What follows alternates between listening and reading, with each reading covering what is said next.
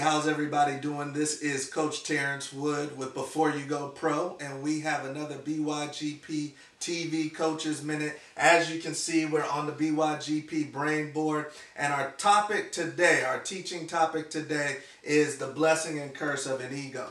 And this is something that a lot of people actually already are aware of because it's a chapter in our book, and I'll get to that later. But this is huge for athletes today all the athletes that we work with with before you go pro we, we preach this. And i just want to teach you guys some of the lessons as far as how your ego works and how it can be a positive or negative for you. So first and foremost your ego is your perception of self you know, how do you feel about yourself? Are you somebody that has your chest up and you got your head up and you're confident? Or are you somebody that is feeling down and you don't think you're worth much and you don't think you'll ever accomplish much? And your, your ego, to a certain degree, is based off of people other people's perception of you. It's your influence your your exchange with the world. If you are an athlete and you are a highly talented athlete there's a good chance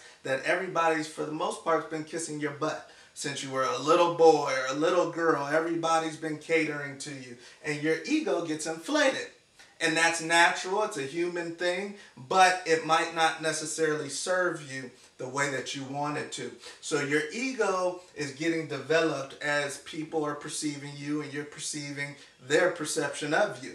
And what happens is is we're building relationships throughout the whole process of becoming a top flight college student athlete or a potential college student athlete. And those relationships have to be number one. They have to stay strong, or else you risk the chance of maybe getting kicked out of a program or maybe not having that coach say your name when a college is asking what kids need to be recruited. So your relationships are key, but relationships get hard to keep in order when your ego is not in a proper alignment. It's not what people want to be around. If you're somebody that's constantly talking about yourself, people aren't going to want to be around you. They're not going to want to say that's the kid that we want to try to get off to a college one day. So you always have to keep in mind whether or not your ego is serving you positively or negatively. And this is something that you always have to monitor because you could be the kid on the bench like Cardale Jones for Ohio State, and now he may win a national championship, and everybody's going to be kissing his tail. And how does his ego respond to that? So these are four things that you need to remember as you are a student athlete and, and some of you guys are some pretty successful student athletes. So as you go along your journey, here are four things that you need to remember and keep keep in order. So first and foremost is balance. You know, have people around you that are always going to keep it real with you. Have people around you that even when you are the first team all state kid, they, they, they taper it down for you. They pump the brakes for you and they let you know that, hey, you still got some things to work on. Have those type of people around you so you can always have balance. The other thing is humility. Realize that there are other pieces, other players in place that help you have your success. So you always want to be humble because one day you might not be the best out there. You might not be the cream of the crop and you always want to keep that in mind. The other thing right here is consciousness. And consciousness means that you're aware of what's going on.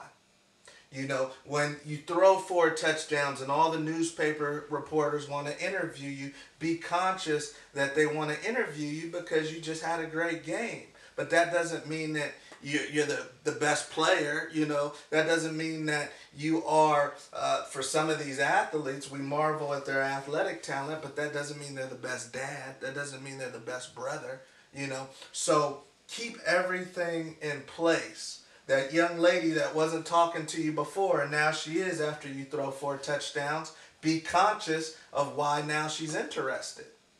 So a consciousness about you. And last but not least, the, the, the fourth thing that can keep your ego at bay is thanks. in, in my world, um, I know it's not me. I give it to a higher purpose. I give thanks for everything that I get, receive, and I can do. For you, you know, uh, it may be your parents. It may be somebody, a coach that's aiding your success. Give thanks. All of these things, you're keeping things in balance, your humility, your consciousness, your thanks will always make sure that your ego is not a curse for you. It is a blessing. If you guys have not checked out our book at Before You Go Pro, it's a hell of a book. And we actually, in chapter 38, there's the blessing and curse of an ego, which dials in on this a whole lot more. But this is something that all kids, parents, coaches really need to get a grasp on. Check us out at www.beforeyougopro.com. You can check out all of our content, social networking links, and we would love to work with you soon. Have a good one. See you at the top.